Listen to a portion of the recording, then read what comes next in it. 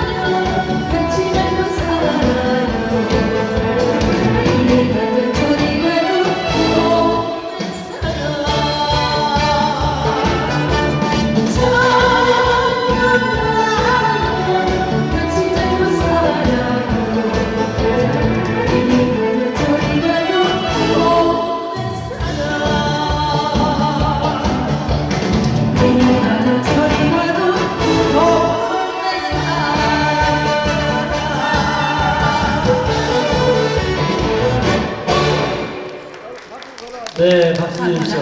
고맙습니다.